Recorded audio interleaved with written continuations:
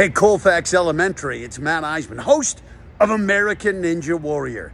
And I know you've been waiting for three long years, but it's finally back. The Colfax Ninja Warrior course. It's gonna be there as part of World Fair 2022, right in the shade of Kid Nation. So come on out, test your grip strength, your your agility, your endurance, and just your overall grit. I want you guys to beat your best times and give it all you got. And remember, doesn't matter if you're the farthest, the fastest, the strongest, any of it. What matters is that you show up. Because if you do that, you will be a Colfax Ninja Warrior. The course is ready. The only question is, are you?